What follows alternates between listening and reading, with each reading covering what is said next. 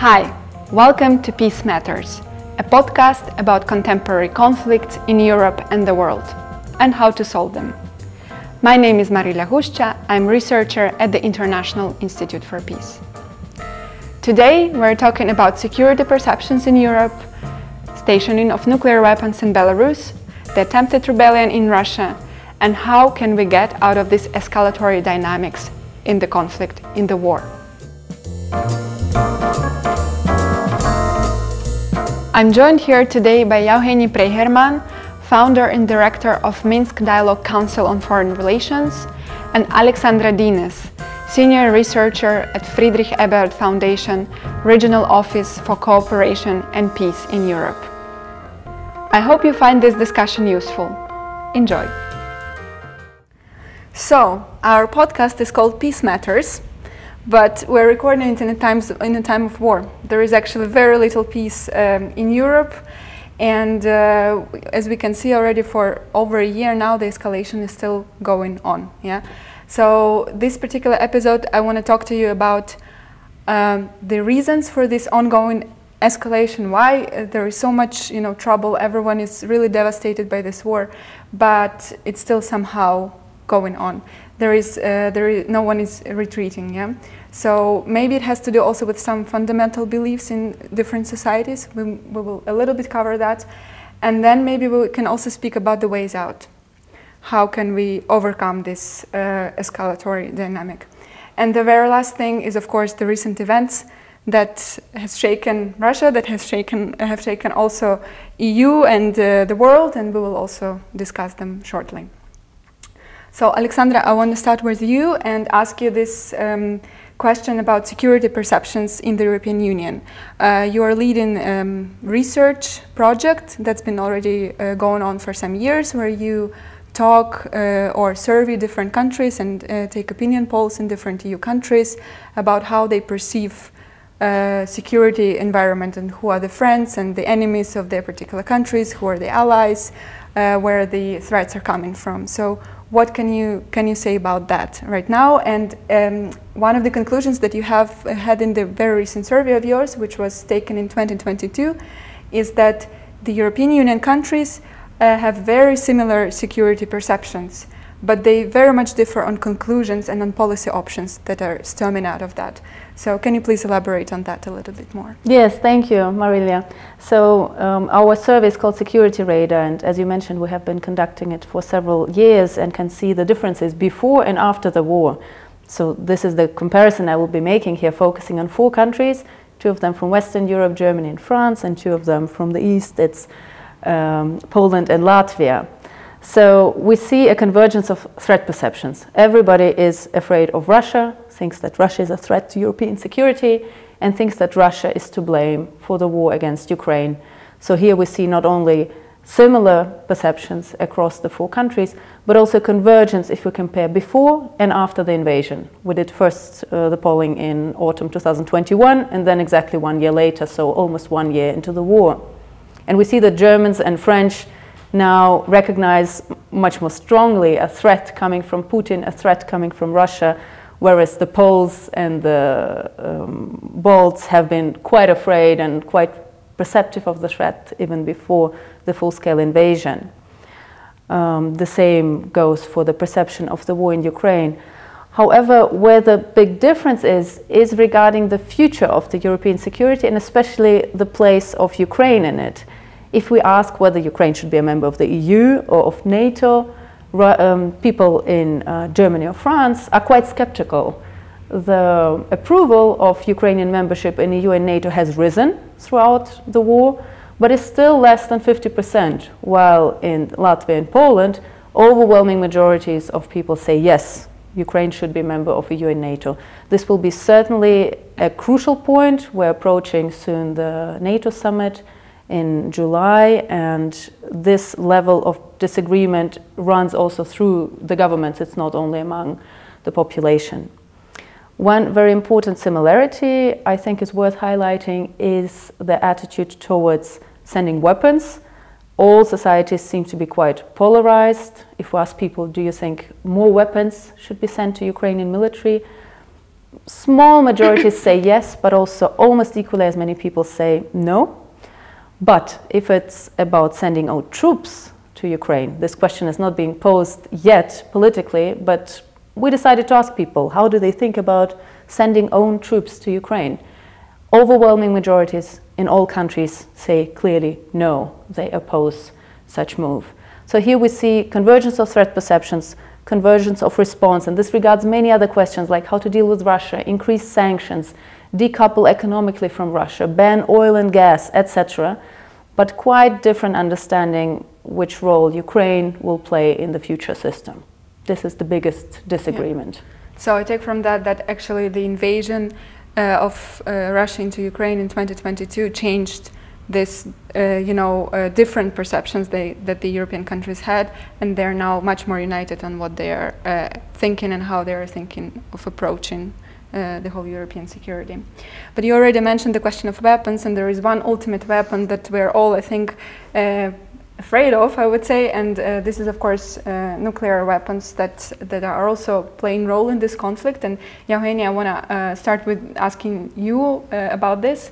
Um, so um, one of the things that um, one of one part of the discussion on the nuclear weapons is that um, some um, threats uh, made by Putin are dismissed very often as a bluff. Uh, shall we take it as a bluff? Shall we take it seriously?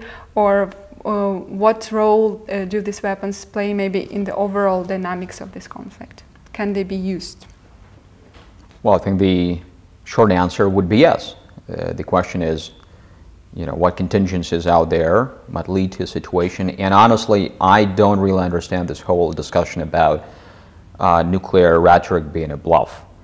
Obviously, no one wants and intends to use nuclear weapons as a matter of sort of realistic option because everyone considers nuclear weapons since day one they were created as the weapon of deterrence with the exclusion of that short episode when the Americans bombed Japan.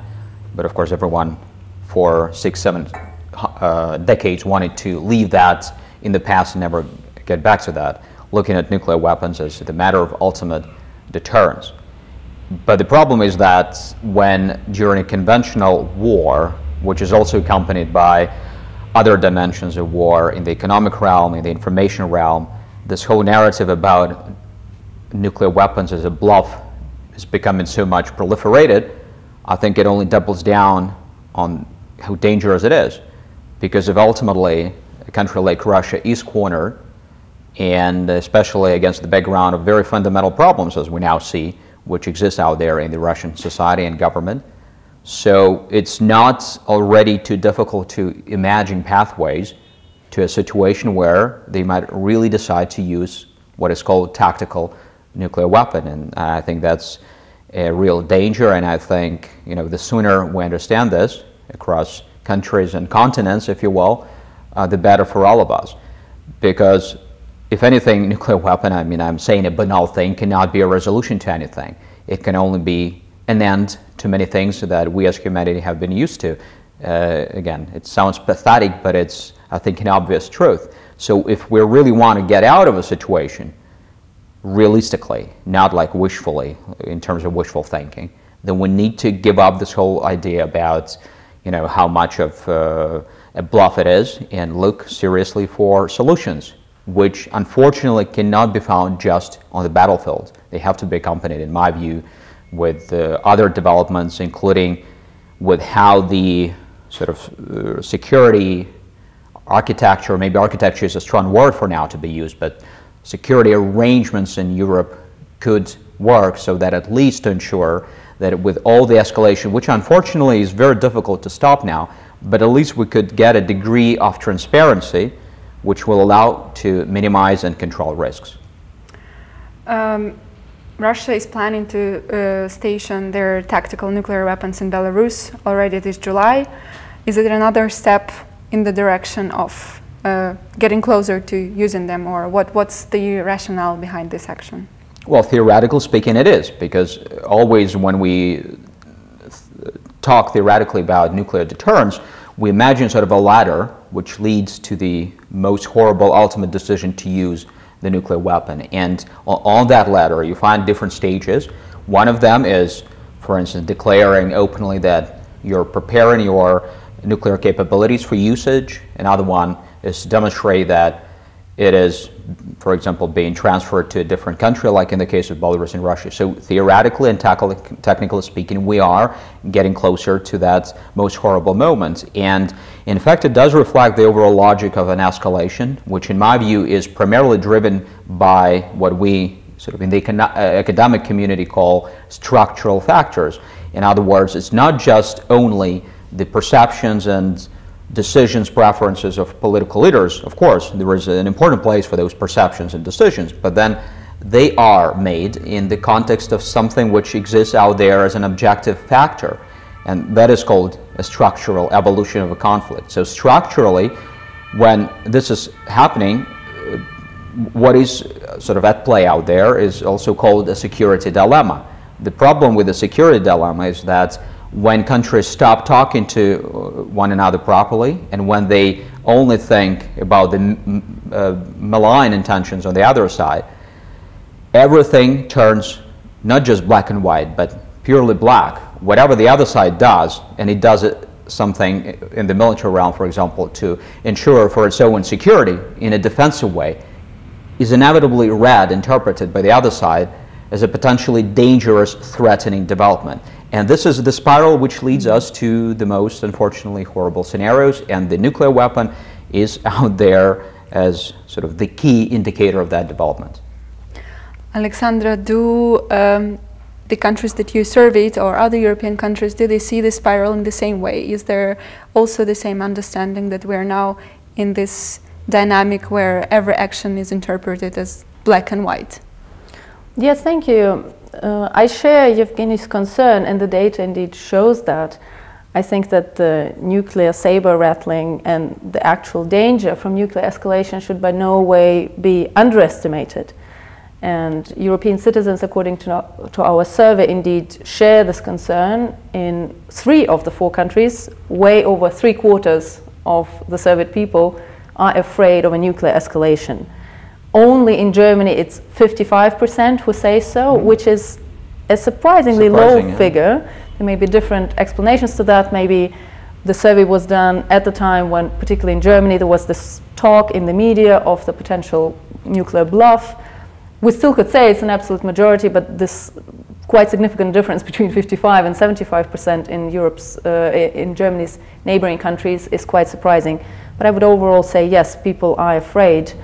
Um, I think what people also tend to forget or what we don't hear that much in the discourse that Russia has a very big escalation potential below the nuclear escalation, mm -hmm. which is absolutely the worst case scenario. I completely agree with Yevgeny, but there are many conventional ways to afflict a lot of pain and destruction on, on Ukraine or to intimidate neighbors. And there are also, unfortunately, other very destructive weapons that Russia might, uh, might think of using. I have another thought in terms of uh, stationing of, of rockets, of nuclear capable rockets in, in Belarus, what might be maybe an idea for European decision makers to threaten Russia or to convey to Russia that if those missiles were launched, Russia would receive a response and Russia will be to blame. Because Lukashenko said quite clearly and publicly that he would not press the button if he didn't receive an okay from Putin. And I think this could be one way of perhaps deterring Belarus from actually contemplating even using these weapons to say that the blame would be put on, on Russia. This leads me uh, to maybe to uh, ask you an additional question. How much leeway does he have, does Lukashenko have in this whole discussion of whether he's, uh, how much uh, authority does he have to say that he's uh, going to decide when to press the button, right? And uh, also it concerns many other things. Belarus is supporting Russia in the war, but it's allegedly is doing it against its own will. Um, what does it say about leeway of the authorities? What does it say about the foreign policy of the country? Well, generally speaking, I think there's been a huge mix, an unhelpful mix, and sometimes confusion of two different concepts when it comes to Belarus and its leeway in international relations at, the, at this time. The first one is the concept of sovereignty or agency, and the other one is something we can call room for maneuver. So I think a lot of commentators and diplomats have confused the two, and basically they've taken the room for maneuver, which has shrunk in the Belarusian case very dramatically compared, for example, to what it used to be prior to 2020. So they've taken this development for uh, the sovereignty erosion. It's obvious that when you have consistently your room for maneuver being shrunk, then ultimately it might lead to the loss of sovereignty. And this is a big, longer term concern for Belarus and for the future of Belarusian sovereignty. But it doesn't help to, let's say it's very simply, jump into this conclusion prematurely without really looking at the facts on the ground. I think everyone would benefit from all those commentators and diplomats being a little bit more attentive, being sort of better researchers when it comes to Belarus, trying to understand what, what, what kind of the options are out there. I, I, think the recent developments when Lukashenko basically mediated this deal between Prigozhin and uh, the Russian government of Putin, it does show that he has some agency, Minsk has some agency, and as, as sort of soon as uh, they see their own interests and there is enough room for maneuver, they're ready, they have political will and ability to use that room for maneuver. So ultimately, the question is not whether Minsk has already lost sovereignty. I think the, the answer is clearly no. The answer is if we really want Minsk to preserve sovereignty and expand it room for maneuver, then let's do that. Let's find ways of doing that, perhaps without, you know, uh, exercising certain things which are unacceptable for the West. But that's the right question to be asked. Then when it comes to the nuclear uh, factor, it's also interesting. First of all, this question about who is going to decide on the use of nuclear weapons has no answer at this point because any answer other than this is kept in the Russian hands is going to violate the NPT treaty, Nuclear Non-Proliferation Treaty, which clearly says that it's going to be a violation of the treaty of the country which possesses nuclear weapons hands it over, any kind of control of the nuclear weapon to a different country, and the country which is non-nuclear accepts that. So technically, the only, the only answer you can get is that, the one that Russians are given right now. At the same time, even from a tactical standpoint, neither Minsk nor Moscow are interested in giving a clear answer because this is part of the ambiguity, and ambiguity is also supposed to be as a deterrent here. But I think very importantly, something which has been missing from this discussion about nuclear uh, tactical uh, missiles and uh, uh weapons being deployed to Belarus, everyone talks about why Russia wants it. But very few people do talk about why Belarus wanted it. And Lukashenko was very vocal, proactively vocal about this weapon. Why is it important to ask this question? In my view, because it can help us to understand what ways of de-escalation are still there. Minsk wanted this weapon because it really perceived the situation around it, primarily you know, Ukraine and NATO, exactly the same way as certain NATO member states in Europe perceived their own security situations at the beginning of the 1950s, when the conventional capabilities on the NATO side were much lower compared to what the Soviet Union and its allies had. So back then they decided that nuclear factor was the ultimate deterrence. And that's why they wanted to go for it. Not only the Americans, but only uh, seven at that point, and now five European states which still host uh, American nukes on the European soil. Exactly the same is playing out now. Minsk understands that if a conventional conflict were to come to its borders, conventionally it's much inferior compared to the potential of NATO. And I don't think that the government in Minsk are fearful of a direct uh, confrontation, direct attack by NATO, but what they fear is a more complicated scenario. We hear a lot of Belarusian fighters that are fighting on Ukraine side now, that they want to finish their business in Ukraine and then come with weapons to Belarus. And then there were a couple of additional comments from all sorts of politicians or former politicians in the West. For instance, a few weeks ago, the former commander of the ground, ground troops of Poland said that if those fighters come from Ukraine to Belarus, Poland should help them. Anyone in Warsaw will tell you, don't take it seriously. But security are issues which have to be taken seriously. And that's why if you look at this rhetoric and all these developments, the build-up of the conventional capabilities on the Polish side, on, exactly on the border with Belarus. So if you look at this through the lenses of the Belarusian government, you need to be worried. And that's why they thought that it would be better to host Russian nukes even though it also brings about additional risks. Yeah, so, um, I wanted to additionally uh, ask you about that. So you have this perception inside Belarus uh, from the authorities mm -hmm. that they actually the threat is coming from the west and that's why we need the nukes that's why we need all other stuff to protect us from that but then for example belarusian opposition in exile which is also um, i would say which uh, who is maybe an actor that uh, the europeans are perceiving belarus through um, uh, Svetlana Tikhanovskaya is talking to different leaders in all the countries, and their uh, argument is that uh, actually the threat to Belarus is coming from Russia because Russia is uh, exactly, uh, you know, eroding Belarusian sovereignty. Also referred to this discussion already, saying that it's not entirely so. So. Um, what, what to do about that? it's a very well. I, I think it's very yeah. simple. Uh, you cannot help Belarus to stay sovereign when you a sanction it like crazy when you basically semi-isolated, introduce a semi-blockade, and when Russia is the only game in town. So it's exactly you know the opposite direction they are pushing Belarus to. I have no idea why certain people, including the Belarusian opposition in exile, are arguing for that. I think it should be clear to everyone that the outcome will be less sovereignty for Belarus than more sovereignty. But I think it's high time that people in the West who are really interested in preserving Belarus as a sovereign state, not because of us Belarusians, but because of the positive factor it can play for regional security. So they just need to be fair with the facts. I think the facts are so clear that there is not much room for interpretation here. Yeah, Go I ahead, have Alexandra. A slightly different interpretation, and maybe for the sake of discussion, it's interesting to try to juxtapose it. Uh, we were speaking of room for maneuver, which I think is an interesting concept, and thanks for pointing out the difference between sovereignty and room for maneuver. I absolutely agree with you. I think having seen the events of the weekend, how Lukashenko, it seems, mediated a deal, uh, like you just mentioned, uh, with Prigozhin basically preventing a mutiny that he started on the same day, 24th of June, from you know, reaching Moscow and potentially toppling the Russian government. From basic caveat, we don't exactly know as of today what happened. So mm. this is room of interpretation for us three.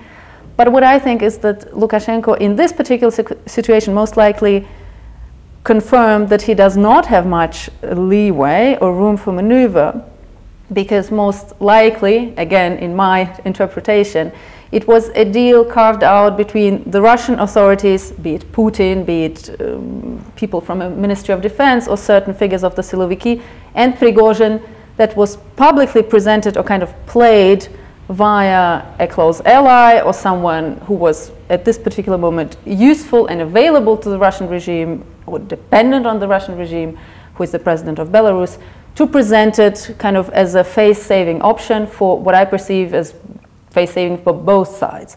Putin managed to stay out of the whole deal.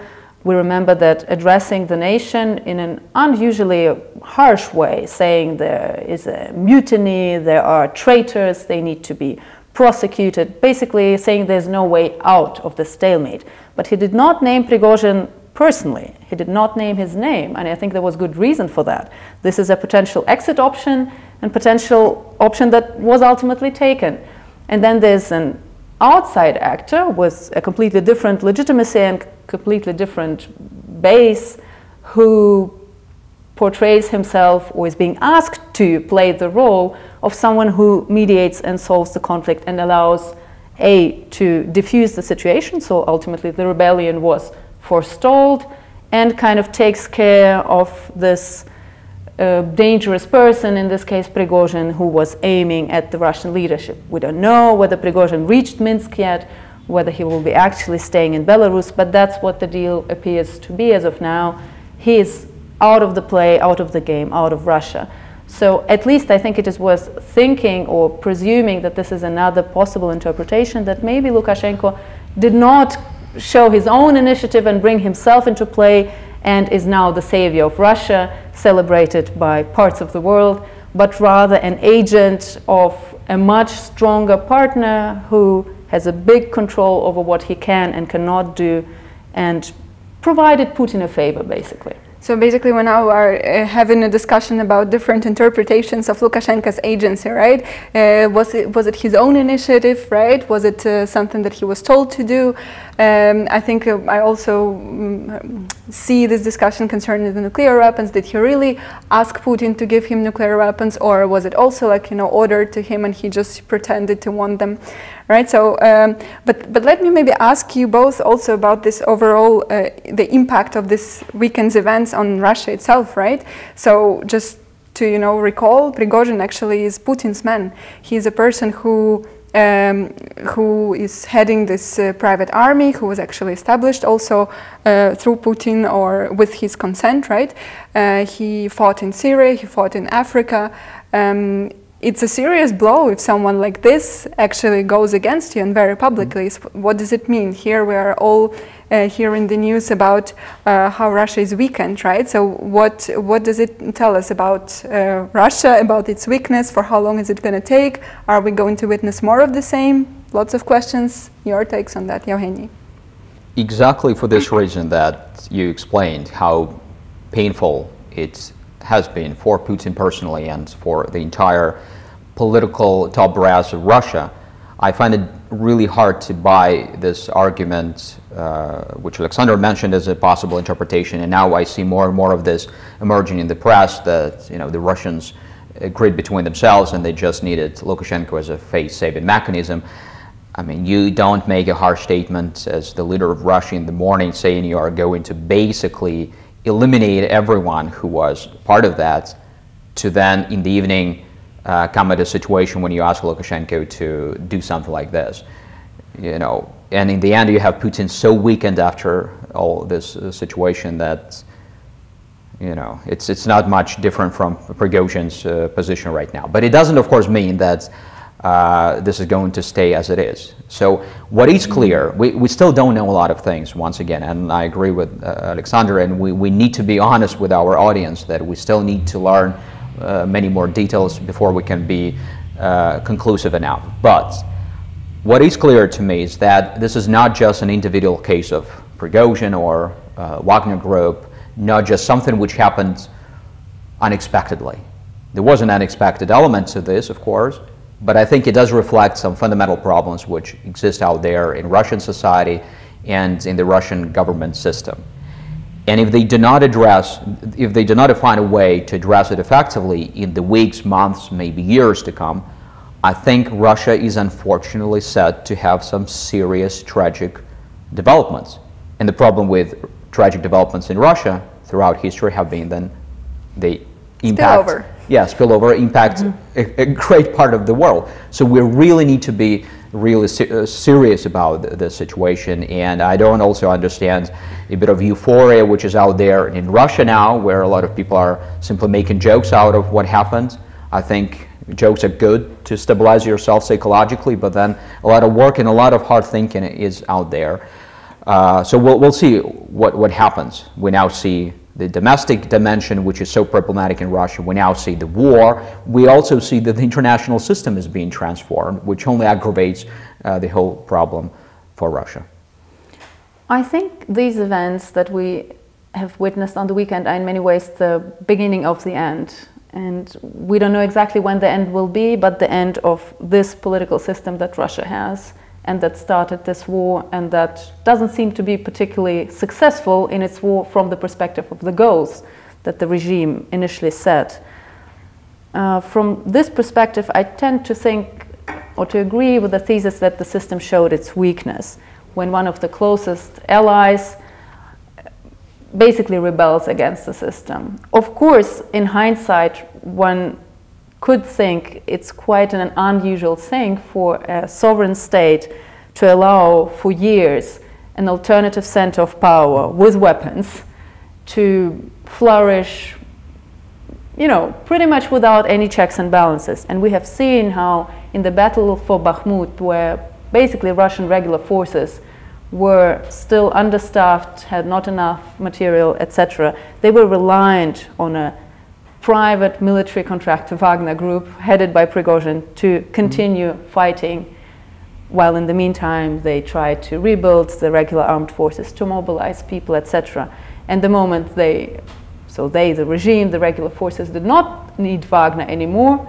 They kind of tried to get rid of him and saw the consequences of challenging an alternative source of power that they themselves once created. So, in this sense, certainly the world has seen that there are cracks in the system, that Putin is not as strong and the vertical of power is not as solid as we might have thought. At the same time, one could draw a different conclusion that I think coexists with this first one about the weakness. The system is quite resilient. Putin has shown itself, himself, with the help of his closest ally Lukashenko, that he can, you know, as a chameleon, play events in the course of just 24 hours from a catastrophic brink, again towards his own benefit. His uh, public appearance just today was on some you know, industrialists meeting, congratulating some people. So something completely civilian, completely war unrelated. He sends a message out there, business as usual, nothing has happened. I think over the past 20 years that Putin has been in power, even longer, he has demonstrated time and again his mastery of the situation and ability, as the Russian saying goes, to come out of the water dry. He's maybe a little bit wet on some pieces of his clothing, but I guess there is a certain resilience he has demonstrated yet again. However, back to my initial saying that it's the beginning of the end, I believe many people inside Russia watched what happened with big concern. Soldiers have been watching the mm-hmm. videos of Prigozhin sitting in the trenches. And at least one thing that Prigozhin did in the course of these 24 hours that I think will have a larger impact even on how the war will unfold and how the situation in Russia will unfold, is that he called a spade a spade. He questioned the legitimacy of the uh, invasion of Ukraine. He was very emotional, saying how useless the deaths of Russian soldiers are in this war. And he questioned the very basic narrative the Russian regime has been putting forward for months since it started the invasion that Ukraine and NATO were going to invade Russia, and it's actually a war of you know, preventing the enemies from conquering Russia. He said in a very emotional and long and widely watched video that was taken notice of in Russia that this is not true and the president is lying. And I think this will have, in one way or another, we do not know yet, this will have an impact on certain actors that might have not yet stepped onto the forefront in Russia. They may be in the military, they may be in the civil society, they may be who knows where, inside the elites maybe, mm-hmm. who have drawn their conclusions.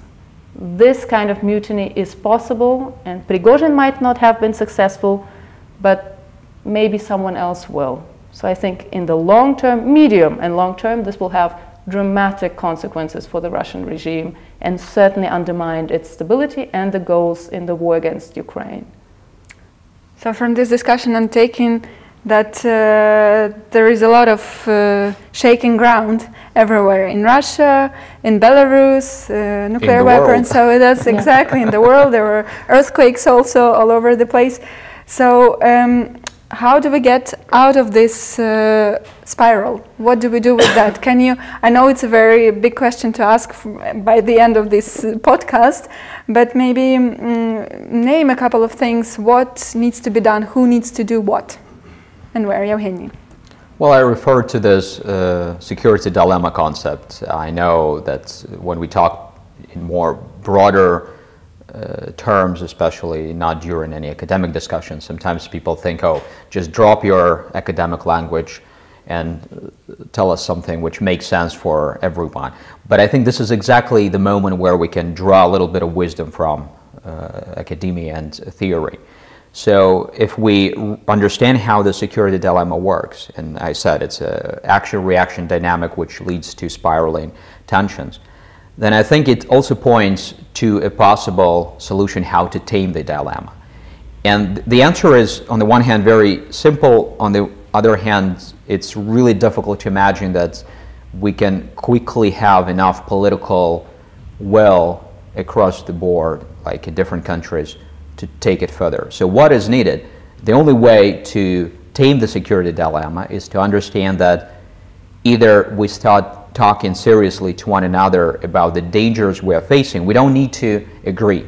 But the ultimate goal of talking is to make sure that we minimize the, the risk perception on the other side. We minimize this perception that the other side is all the time up to something bad, to something malign. So that's simply the goal. The others need to understand that this is transparent. Yes, I have an additional missile out there, but look, this is why I'm doing this and come check it. It still might, might be shot at you at some point, but just come and touch it. I'm simplifying things, of course. But this is the only way. It can only be resolved in a cooperative way. Some people think, okay, let's just uh, erect this iron curtain and we'll be back to the golden times of the Cold War because for some reason a lot of people think of the Cold War as something beautiful, something stable. It turned out to be pretty stable compared to some other periods, but it had nothing to do with the Iron Curtain. It had to do with the fact that the international system got stabilized. It uh, was clear where the poles were. I mean, the poles, no, the Polish people, but the poles of the international system, the bipolar system. So it was stabilized, and that's why it did not get out of control, even though there were a lot of opportunities for it. Just remember the, uh, the crisis yeah, the, that were out there. So Iron Curtain is not an answer, because even over the Iron Curtain you can still have missiles flying. As I said, the only way is to mm. find a cooperative way to at least agree that we don't want uh, a nuclear annihilation of the world. And then from that point, we potentially can take it further in a controlled way somewhere, maybe not to a beautiful world we all want to have or the one we had before, like Europe, free from Lisbon to Vladivostok, and I know Alexandra and her colleagues did a lot of wonderful work on that. I, am afraid we're a little bit uh, further and further away from that, but at least let's make sure that we pre prevent the worst from happening, and the security dilemma helps us to do that. We need to talk and we need to agree on the basics. So talking and communication, this is what Evgeny suggests. It sounds banal and, you know, simple, but it's the only answer. Yeah. Alexandra, what's your take? I have a threefold vision. Short term, support Ukraine as much as possible now because the developments we have been talking about might have destabilized Russia, even if not strongly, to the degree that Ukraine can achieve, small as it may be, but a shift of momentum on the battleground. I hate to say that, but right now and throughout the war so far, it seems that there was no much space for diplomacy and I take the argument of military experts that only when the situation on the battleground shifts from a current stalemate we have been witnessing for quite a long time, the chance is higher two sides will be actually willing to sit and talk. So I hope that these events now maybe will propel the shifting of momentum so that Russia and Ukraine are willing to sit together and talk and there will be hopefully at least a cessation of hostilities or some kind of ceasefire agreement.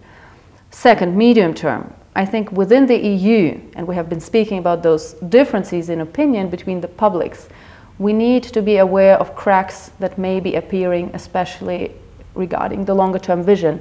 Ukraine's membership in EU and NATO. This is a very important question.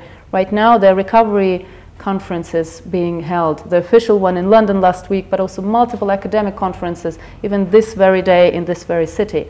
So there is a danger of a very big disappointment and backlash in the Ukrainian society if there will be no coherent vision of how Ukraine can be member of this Western future alliance, be it EU, be it NATO, be it maybe outside these institutions, but somehow in, in the framework, in the system. And here we know that there, underneath the unity that seems to you know, bring us all together in the European Union, there are serious differences in opinion and they may put European overall security architecture at risk if they're not addressed.